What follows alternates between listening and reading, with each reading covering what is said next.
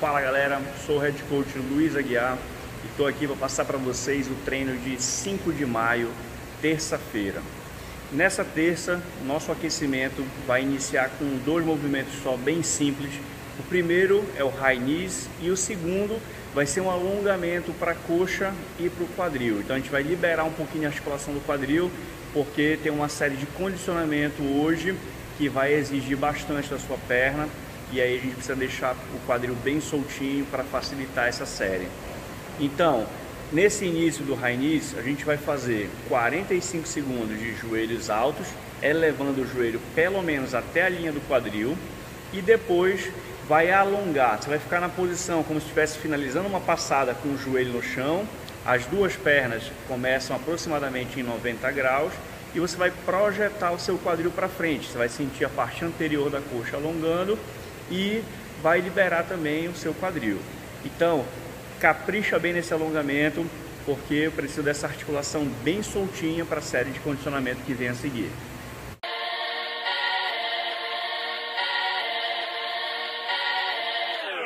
Welcome to the greatness. Yeah, I can't surround myself with fake shit. Yeah, it's time to step up to the plate, bitch. Yeah, the greatest. Welcome to the greatness.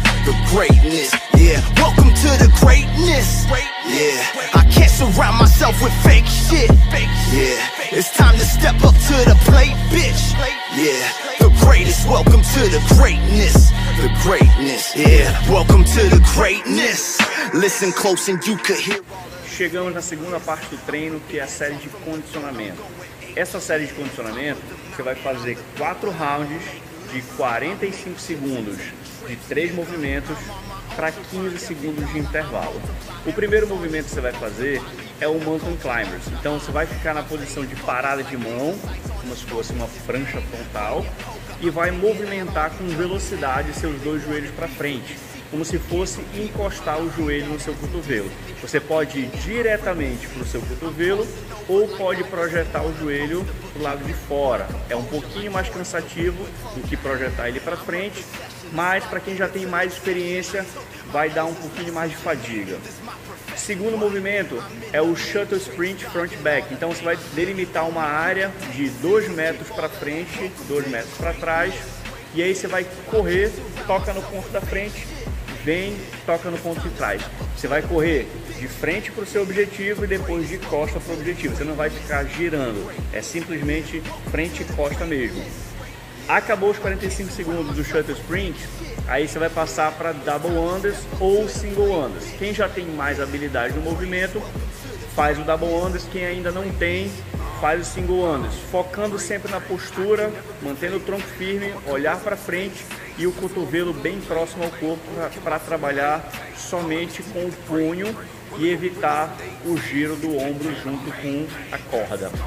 Então, é uma série de condicionamento. Eu preciso que vocês façam com que a frequência cardíaca suba bem nessa série e tenta ensinar o seu corpo, tenta fazer com que ele entenda que esses 15 segundos são suficientes para você descansar.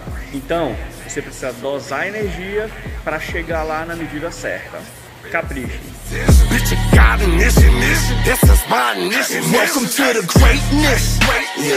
I surround myself with fake shit. Yeah, it's time to step up to the plate, bitch. Yeah, the greatest. Welcome to the greatness. The greatness. Yeah, welcome to the greatness. Yeah, I can't surround myself with fake shit. Yeah, it's time to step up to the plate, bitch. Yeah the greatest, welcome to the greatness, the greatness,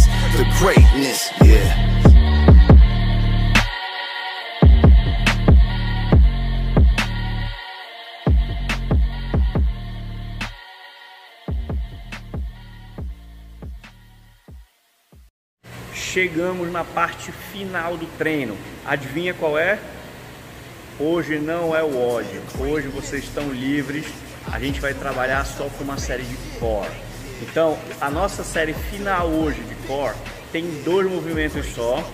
Primeiro, 60 segundos, você vai trabalhar um frontal plank hip touch. Então, você vai ficar com o antebraço no chão, a perna um pouquinho afastada, mais ou menos na largura do seu ombro, E aí você vai tirar uma mão do chão, dar um leve toque no quadril e voltar para a posição de prancha.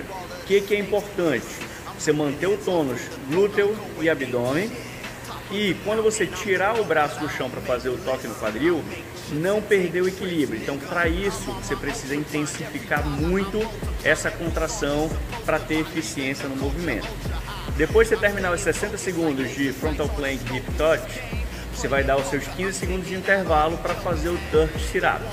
Lembrando que é um movimento que nós já fizemos várias vezes nos treinos anteriores, então a maioria de vocês já tem a experiência do movimento, mas vale muito a pena ressaltar que quando você estiver deitado, você precisa estar com os braços bem esticados, então eu quero esse cotovelo totalmente estendido, não deixa o braço ficar com flexão, então braço reto.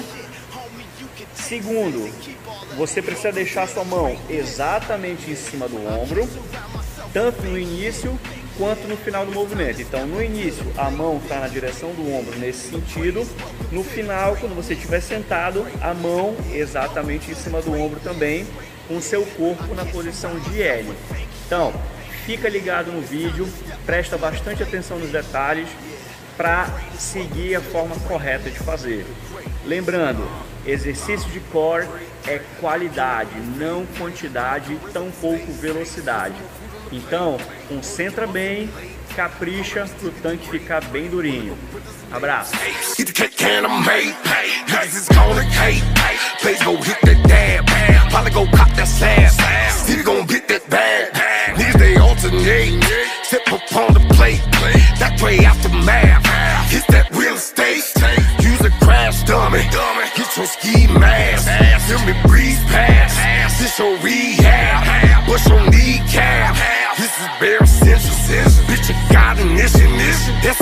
Initiative. Welcome to the greatness. Yeah, I can't surround myself with fake shit. Yeah, it's time to step up to the plate, bitch. Yeah, the greatest. Welcome to the greatness. The greatness. Yeah, welcome to the greatness. Yeah, I can't surround myself with fake shit. Yeah, it's time to step up to the plate, bitch.